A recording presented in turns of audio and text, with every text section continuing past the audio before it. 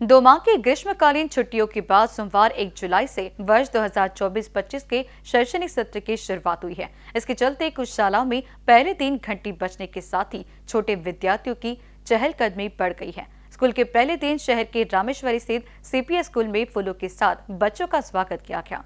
नागपुर शहर की 2000 और ज़िले की डेढ़ हज़ार शालाओं में सोमवार से उत्सव का वातावरण रहा।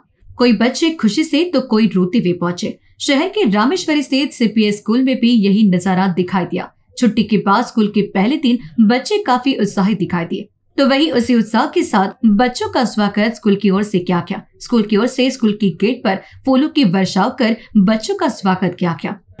सर आज पहिला शाळेचा दिवस असल्यामुळे मुलं अतिशय उत्साही होते आणि आज आम्ही शाळेच्या मुलांना त्यांचं वेलकम करण्यासाठी त्यांना आज त्यांचं स्वागत केलं फुलांनी त्यांच्या वर्षाव केला.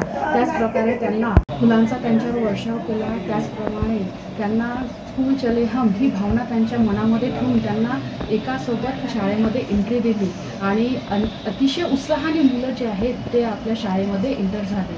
आणि मुलांचा उत्साह जो आहे तो खूप अति जास्त दिसताना आम्हाला दिसतो आणि मुलं अतिशय आनंदी होती आज पहिला दिवस असल्यामुळे. आणि मुलांचा असाच उत्साह वर्षभर टिकून राहण्यासाठी आम्ही नेहमी कार्यरत राहू असं मला वाटतं. आणि त्यांचा उत्साह जो आहे तो नेहमी असा शाळेत येण्यासाठी राहिला पाहिजे.